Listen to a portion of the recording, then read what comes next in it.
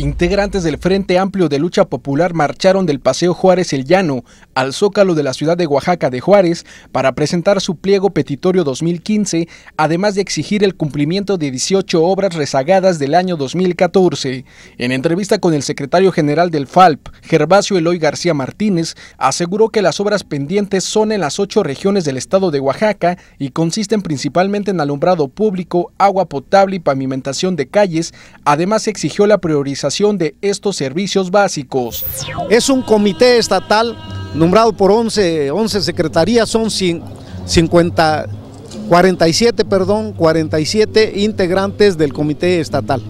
En cuanto a su pliego petitorio 2015 y sin detallar al respecto, Gervasio García aseguró que abarcan solicitudes de cada una de las secretarías que conforman la organización y estas se darán a conocer el próximo 19 de enero.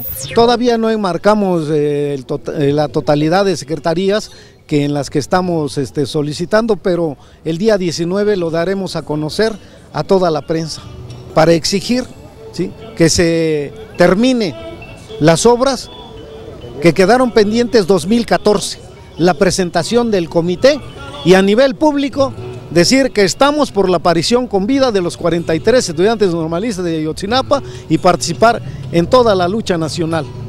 Con imágenes de José Antonio Reyes informó para MBM Televisión, Irán Sánchez.